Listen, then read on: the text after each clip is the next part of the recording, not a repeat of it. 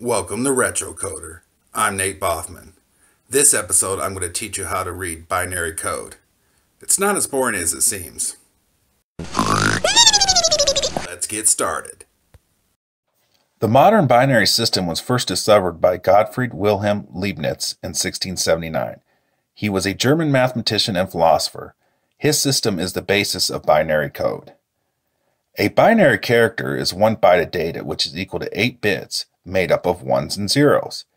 Each bit has a base 2 placeholder. Starting from right to left, the first value is 2 to the 0 power, then 2 to the first power up to 2 to the 7th power. All the numbers that have a 1 are added together with their corresponding value, depending on its placeholder.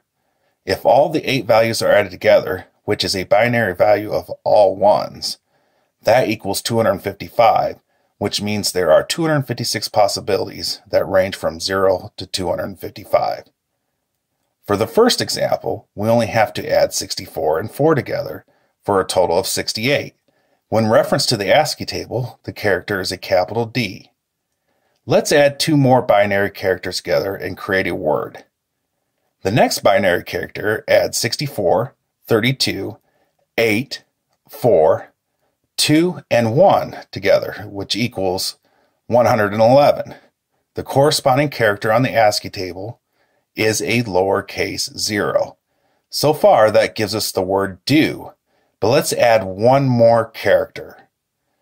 The last binary character adds 64, 32, 4, 2, and 1, which equals 103.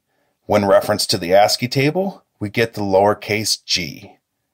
So this is what the word dog looks like in binary code. I hope you enjoyed learning how to read binary code.